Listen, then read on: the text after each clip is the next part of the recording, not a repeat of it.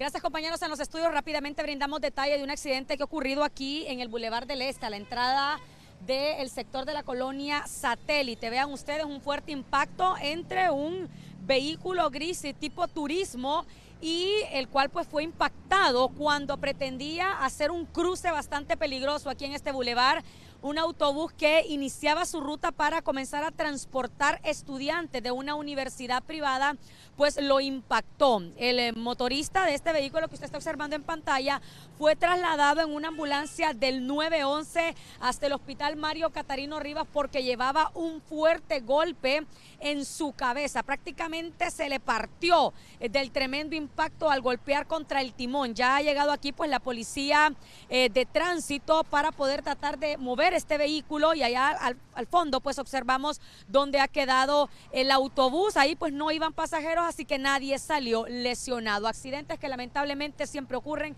a tempranas horas de la mañana. Con el Toro Mengíbar, nuevamente hasta estudios.